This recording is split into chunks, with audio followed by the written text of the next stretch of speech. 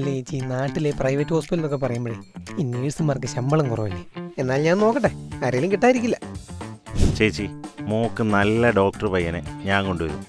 അവളുടെ കൂടെ കാനഡയിൽ പോയാൽ അവന് നല്ല ജോലി കിട്ടുകയല്ലേ അവിടെ. പിന്നെ ഡോക്ടർ ഇയർക്ക് ഞാൻ കൊണ്ടുവന്ന എഞ്ചിനീയർ ഇയർക്കിന് എന്നാ കുഴപ്പം? കാനഡയിൽ എഞ്ചിനീയർ ഇയർക്ക് എന്ന് പറഞ്ഞുണ്ടല്ലോ എയർപോർട്ടിൽ നിന്ന് ഇറങ്ങുന്നത് താമസവും ജോലിയും കൊടുത്ത് കൊണ്ടുപോവാ.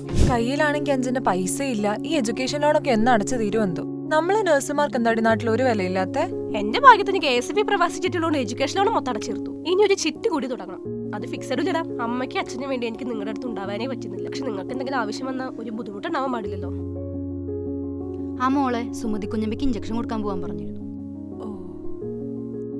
അയ്യോ നീ കഴിച്ചിട്ട് പോയാ മതി. അത് സാരല്ല അമ്മേ. സമയം തെറ്റി മരുന്ന് കൊടുത്താൽ ശരിയാവില്ല. അവർക്ക് നമ്മളല്ലേ ഉള്ളൂ. ഞാൻ പോയി വന്നിട്ട് കഴിച്ചോളാം. അമ്മേ. ആ മോളെ സുധയുടെ മോൾക്ക് ഭയങ്കര വയറുവേദന. ഏത് ഗുളിയാ കഴിക്കേണ്ടെന്ന് നിന്നോട് ചോദിക്കാൻ പറഞ്ഞു. ഞാൻ പറഞ്ഞതാ നീ ഉറങ്ങിക്കാണുന്നു. അത് സാരില്ല അമ്മേ.